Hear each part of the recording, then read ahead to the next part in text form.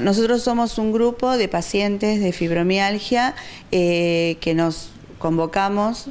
Eh, la fibromialgia es una enfermedad invalidante del tipo de las crónicas, que no está vista, no está evaluada como una crónica, pero estamos luchando por una ley para que así sea. Este, es una enfermedad eh, de dolor, mucho dolor musculoesquelético.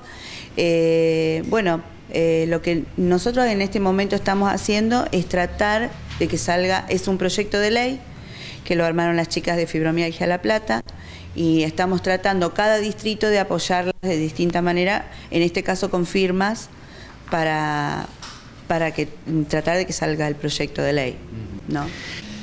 ¿Esto, Marisa, se va a tratar eh, en, la legislatura de la provincia de Buenos Aires o a nivel nacional? No, no, en la legislatura de la provincia de Buenos Aires es una ley provincial. Cada provincia está trabajando para lograr su ley. Hay provincias que están mucho más adelantadas que nosotros. Hay, por ejemplo, en Tucumán creo que es eh, ya es ley. Este, pero cada, cada grupo estamos trabajando por provincia. Claro. Eh, Lola, ¿Tuvieron ustedes oportunidad de hablar con los legisladores de la cuarta sección electoral sobre el tema? ¿No tuvieron una reunión? No, todavía eh, estamos en esos. Eh, nosotras no, pero en La Plata, eh, Fibromialgia La Plata, eh, sí, ellos sí ya están en el Senado, ya están este, en, ese, en ese curso, en esas tratativas. Nosotros todavía no, recién estamos iniciando esto este proyecto acá en Junín. El que diagnostica la fibromialgia es el reumatólogo. Pero como es una enfermedad con muchos síntomas, mucho dolor, uno eh, ambula por distintos médicos.